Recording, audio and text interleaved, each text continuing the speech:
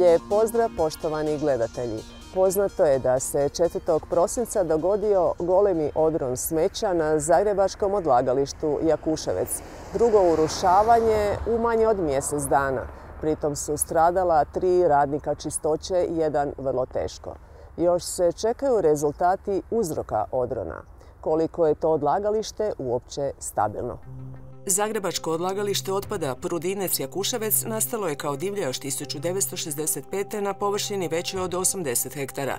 Sredinom 90. sanirana je prva ploha, a cijelokupna sanacija dovršena je 2003. kad su izgrađene četiri plohe te je pretvoreno u kontrolirano odlagalište prve kategorije.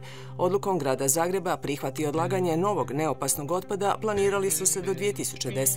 S obzirom da Centar za gospodarenje otpadom nije bio izgrađen, predložen je novi datum zatvaranja odlagališta kraj 2018. U tehničko-tehnološkom rješenju koje je još 2014. izradila Ekoina, tvrtka za zaštitu okoliša iz Zagreba, nadalje stoji da se otpad može odlagati na šest ploha i to na ukupnoj površini od 46 hektara. Činjenica je da je Jakuševac građevina koja je građena od nestandardnog materijala. U ovom slučaju je to jeli, komunalni otpad koji s vremenom podliježe nekakvim svojim promjenama karakteristika i on se s vremenom i sliježe i kao tako možemo reći da je to jedno živi objekt, jedna živo, e, e, živa građevina. U dokumentu tadašnjeg Ministarstva zaštite okoliša i energetike iz prosinca 2018. dinamika zatvaranja odlagališta neopasnog otpada u Hrvatskoj ističe se da je odlagalište Prodinec Jakuševec sanirano i ispunjava uvjete za nastavak rada do otvaranja regionalnog centra za gospodarenje otpadom. Ukupni kapacitet je 15 milijuna kubnih metara otpada. Ako je u prosincu 2018 E, bilo mjesta za milijun i 770 tisuća tona otpada, dakle to je bilo prije punih pet godina. E, ako to podijelimo sa recimo otprilike 200 tisuća tona godišnje koliko se vozi na odlagalište, može čak i nešto malo manje, nama praktički preostaje 3 do 4 godine.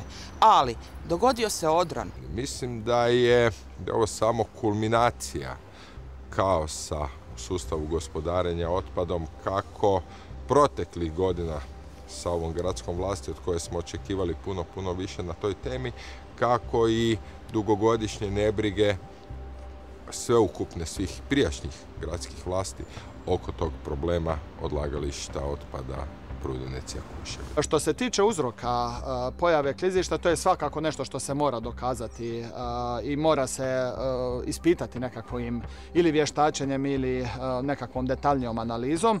Primarno to može biti uzrok materijal koji se odlaže tamo. Dakle, ako je istina da se radi o povećanim količinama biootpada, biootpad je materijal koji sadrži veliku količinu vode i on u relativno kratkom vremenu otpušta tu veliku količinu vode, a i u relativno kratkom vremenu mu se mijenjaju njegove karakteristike. Radi se o jednom kontinuiranom procesu razgradnje otpada tijekom kojega se stvaraju takozvani eluati, dakle tekućine u tijelu klizišta, ali stvaraju se i plinovi, dakle i velike količine metana ako se koncentriraju na jednom dijelu jednostavno mogu eksplodirati i uzrokovati ovako nešto što se dogodilo. Ja bih radije pričekao nekakve rezultate analiza da vidimo što je stvarni uzrok tome. S obzirom na to da sam ja i sljedeći dan poslala upit holdingu da pitam što je sa plinskim sustavom koji izvlači deponijski plin i iz kojeg radimo struju.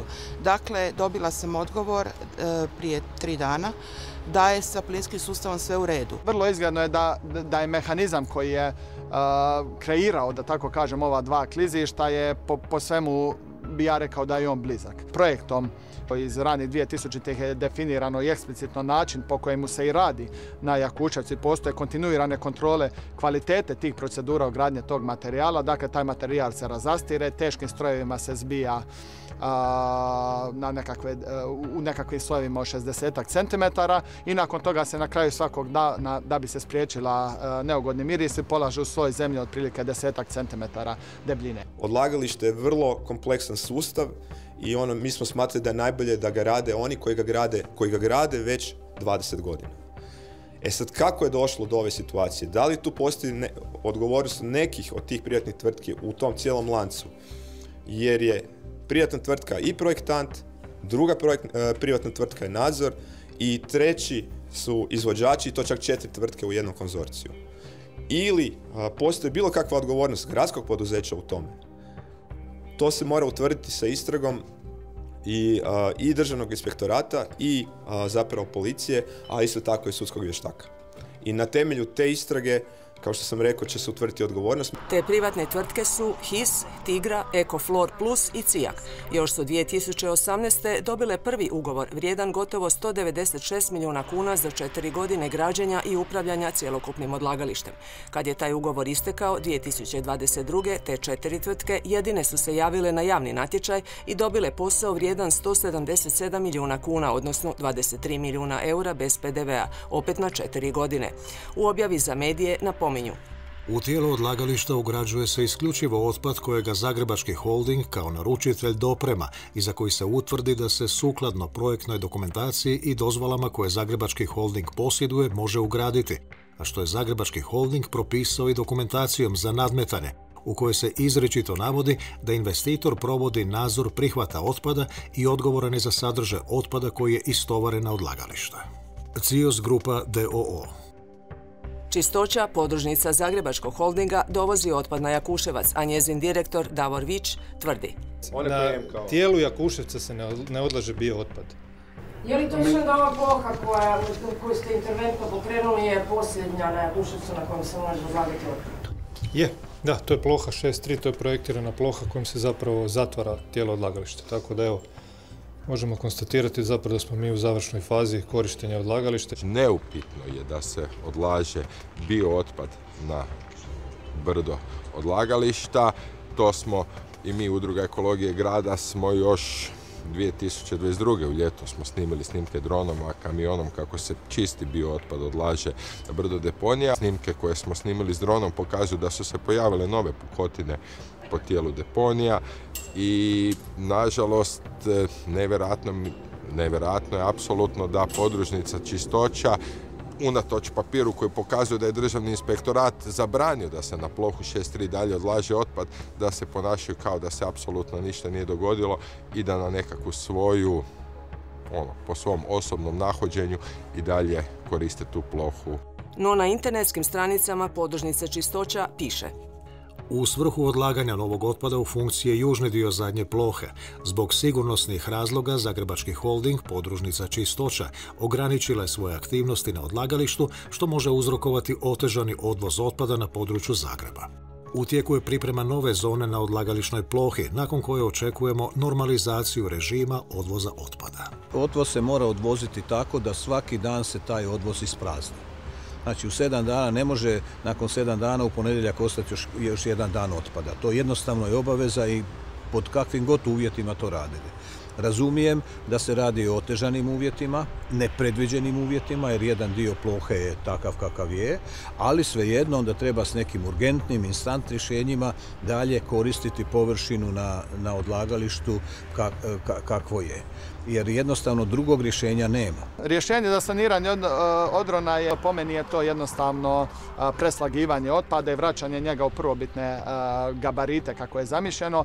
Po najprije iz razloga jer na dijelu na kojem je otklizao taj otpad radi se o tome da je na tom dijelu uređena podloga, dakle izvedeni su brtveni glineni slojevi što od prirodnih mineralnih materijala, što od umjetnih materijala kojima je primarna uloga spriječavanje procjeđivanja tog eluata u dobro propusne šljunke grada Zagreba. Naravno da se to ne može napraviti prije nego se utvrde uzroci, radi čega je došlo do klizanja, o kojem se materijalu radi i koji su to rubni uvjeti po kojima se on smije vratiti na staro mjesto i na koji način ga ugraditi. Kaže da su mogući i dodatni odrani. Ono što, bi, što pokušavam preporučiti, e, ova dva odrona, e, kapacitet Jakuševca, novi plan koji još nije predstavljen, tako da još nitko osim izrađivača ne zna šta će se predstaviti na resniku, poziva na oprez da moramo sada već predviđati neke, neka urgentna rješenja ili šta ako se Jakuševac ne zatvori do tog trenutka koliko ima kapaciteta. Odroni pokazuju da bi taj kapacitet Jakuševca mogao biti i manji na kraju. I treba sjest, treba pozvati sve zainteresirane. Privatni sektor može biti jedan od su partnera da se pokušaju iznaći ta ad hoc rješenja. Centar za gospodarenje otpadom je izglasan na resniku 2018. Oni koji su tada bili za njega, sad su iznenada protiv i to čista politika. Čine štetu svima. a najviše samim resničanima. Zašto to kažem?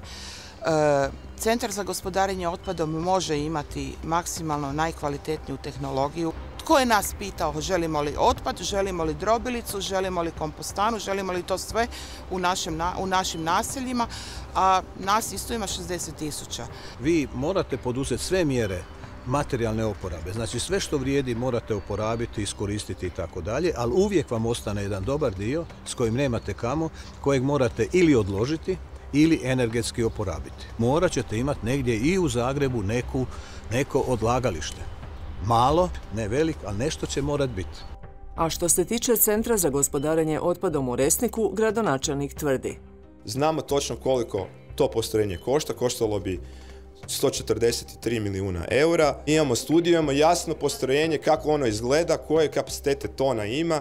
I ono što je drugo pitanje, koje je ključno pitanje za studiju da bi ona bila usvojena i završena, je pitanje Zagrebačke županije. Znači, koji kapacitet će biti samog CGO-a vezano za miješani komunalni otpad.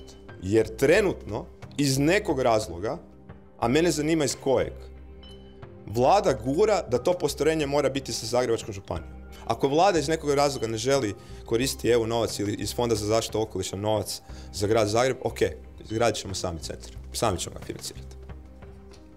Ali barem da stane priča oko lokacije.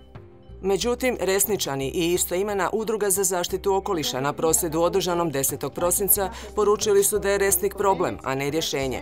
Žestoko se protive da u njemu bude centar za gospodarenje otpadom.